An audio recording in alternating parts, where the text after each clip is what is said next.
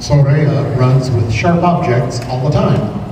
Tonight is no different. The music is Crystallized by Lindsey Sterling.